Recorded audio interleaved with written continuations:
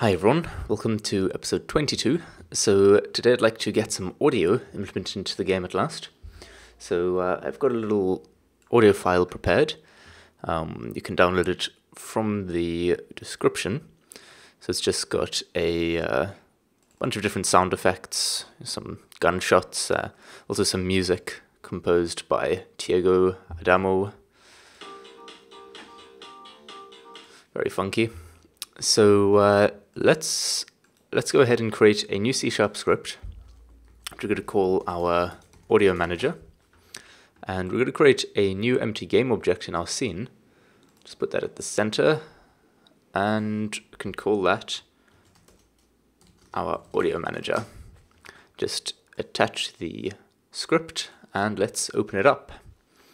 So I want to have uh, three floats for the different volume controls we're going to be implementing into our menu later on. So it'll be the master volume percent, the uh,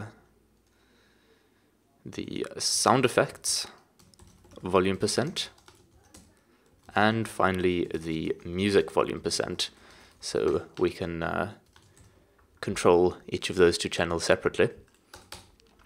Let's now make a public method, a void method, uh, for playing a sound. So this can take in just an audio clip and a vector3 for the position to play the sound at. And uh, this will just make use of the audio source.playClip at point method, and we can just pass it in the clip and the position, and since this is a sound effect, we'll give it a volume of sound effect volume percent multiplied by master volume percent. So this play clip at point method is very handy for short sounds like most sound effects, uh, but it's it's not entirely appropriate for music because you can't change the volume of the clip while it's playing. You can only give it a sort of initial uh, volume. So if you've got a music track playing and the the player wants to sort of change the volume settings, he's going to have to wait for the next track to begin before those changes actually take any effect, uh, which is not ideal. So we want to have an actual audio source game object in our scene to be playing the music so we can adjust the volume of that whenever we want. So we are in fact going to have two audio sources uh, for the music so that if we're playing a track and then we want to crossfade to another track, uh, we can we can do that easily.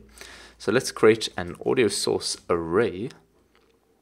Um, just call that music sources. And then in our awake method, we can say music sources equals new audio source array with a size of 2. And then we can just do a quick for loop, for int i equals 0, i less than 2, i plus plus. We want to create a new game object in our scenes, so we can say game object, uh, new music source is equal to a new game object, and we can just give that a name, say we call it music source uh, plus its a number, so that can just be, say, i plus 1. Then we want to add the actual audio source component to that. So we'll say new music source dot add component of type audio source. Um, the add component method actually returns the component that it's just added, which is very useful. So we can say um, music sources i is equal to that newly added component. Uh, finally, to keep things nice and organized in our scene, let's just parent the new music source to our uh, audio manager game object. So transform.parent is equal to this transform. All right, so if we save that, let's go into Unity quickly, press play, uh, we should have two little music sources pop up here. Okay, great. So, uh, going back into MonoDevelop, we can create a new method, a public void play music. This also takes an audio clip for the music clip. Um, and we can give it an optional float for the fade duration if we want to sort of fade the clip in. So say that's equal to one second by default. So we, when we're fading the music, we're going to want to know which music source currently has a clip playing. So let's make an int here to keep track of that. We can call that active music source index. All right.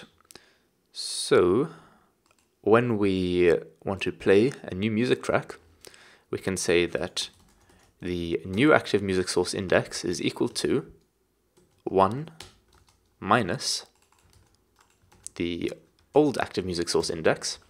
So it will basically just go 0, 1, 0, 1, 0, 1, and so on, uh, which is great because we only have uh, two elements in our music sources array.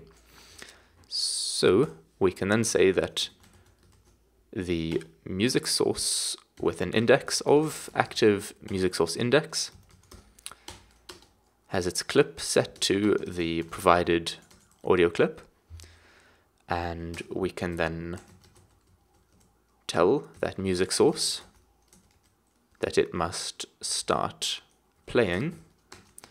Now the fade obviously has to happen over time, otherwise it's not much of a fade. So we're going to want a coroutine. Let's create a little IEnumerator, call that maybe animate music crossfade, takes in a float for the duration of the fade, and we'll call that in our play music uh, method. So we just say start coroutine, animate music crossfade, and pass in that duration variable. Okay, so uh, what's wrong? I need another bracket there. So we can have a float percent initially equal to zero for how far into the crossfade we are. And then we can just have a little while loop. While percent is less than one, so while we're still crossfading, we want to increase our percentage by time.delta time and then we want to multiply that by the speed of the crossfade, which will just be 1 divided by the duration. So 1 divided by duration. Then we can say uh, music sources, active music source index. So this is the one that we're fading in from 0. So we'll set its volume equal to mathf.lerp between 0 and the sort of maximum music volume, which will be the music volume percent multiplied by the master volume percent, and then we give it the percentage to interpolate between those two values. So we want to do the opposite for the non-active music source index, so we can get that by just going 1 minus again. So we want its volume to go from the maximum volume down to 0. Alright, and we need to add in our little yield statement. So yield return null. Okay, let us see if that's working. Uh, so I'm going to go into Unity. Hang on, we've got an error. Let's fix that first. Uh, so I meant to say plus equals. Okay. Um, let's create a little C-sharp script. We can just call this our music manager. And I'll apply that to the audio manager game object. And in here we can maybe just have uh, public audio clip, um, maybe a audio clip array. Let's just make it an audio clip for now. Um, we can call this the main theme and another audio clip. Um, call this maybe the menu theme. All right. So in the start method, um, we want to tell the audio manager to play the well one of these audio clips. Um, but at the moment, we don't have a very convenient way to access the audio manager. We'd have to actually get a reference to it using sort of get component or find object of type. And uh, since we want any any script in our in our game to be able to conveniently access the audio manager, um, that's not really ideal. But what we can do, since there is logically only one audio manager ever present in the game, uh, we can make it a singleton. So uh, all that entails is just having a public static reference to the audio manager. Uh, we can call that instance. And then in the awake method, we can just say that the instance is equal to this. So now, if in our music manager we were to say audio manager, we could get that static instance, which is now a static reference to the actual instance of the audio manager class in our scene. So we can then call play music on that instance and pass it in, say our menu theme, give it a fade duration, say of two, and then just to test things out, let's uh, let's add a little if statement in the update method. Say if input dot get key down. Say I press the space key.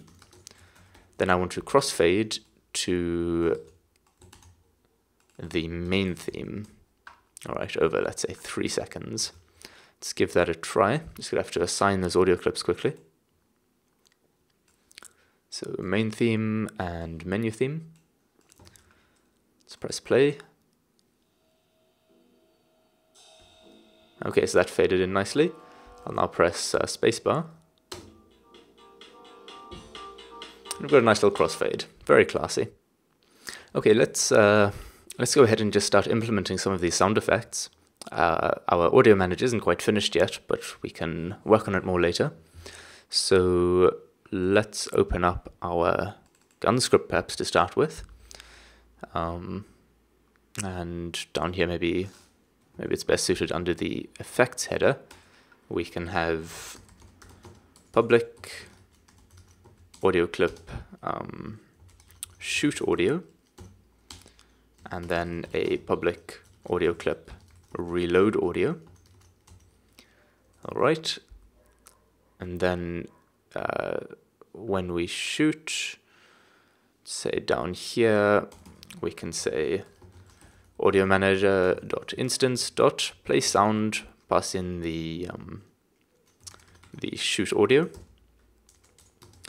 And for the position, that will be, you can just give it transform.position. Okay, and let's copy that and find the reload method.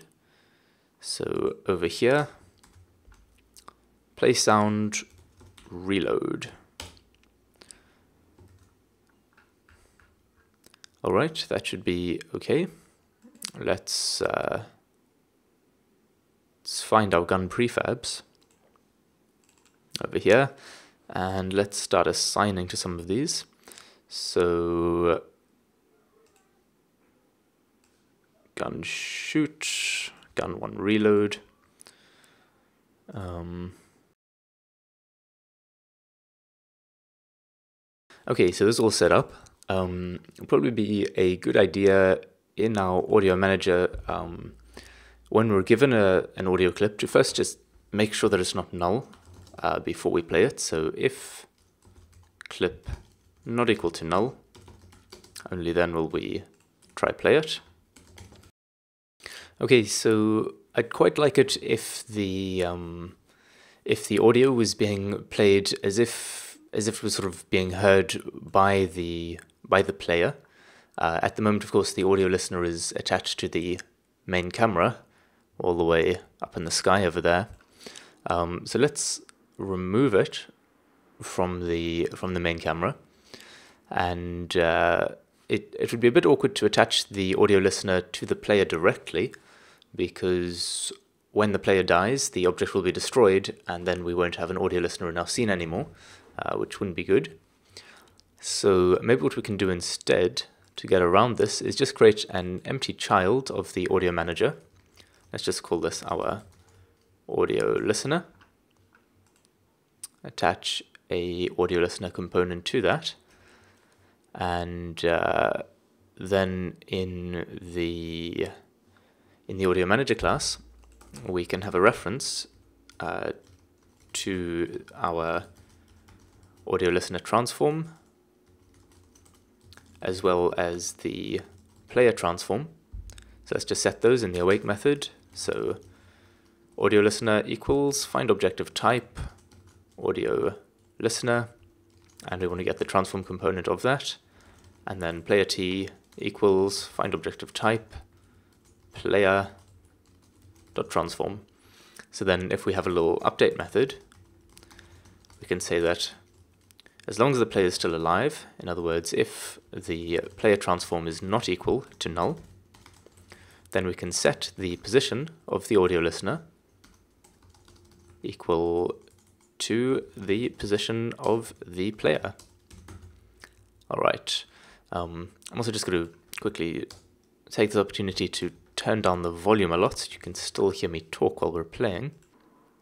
Okay, so let's give this a go.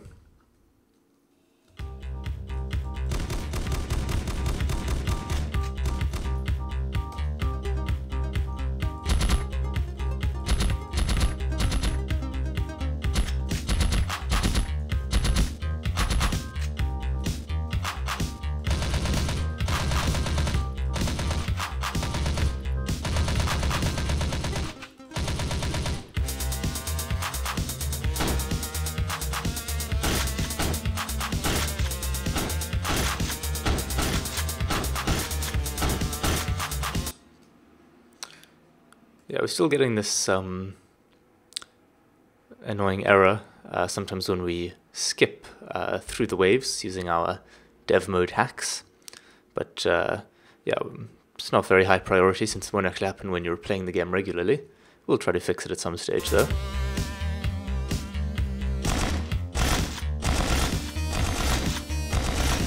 Whoa, that, that wave's hard. Okay, so I'm going to wrap up this episode. That's looking, or rather sounding nice. Um, next episode, we'll continue to work on our audio manager a bit. There are a couple of things we still need to do, and we can also uh, implement the rest of the sound effects. Until then, thanks for watching. Cheers.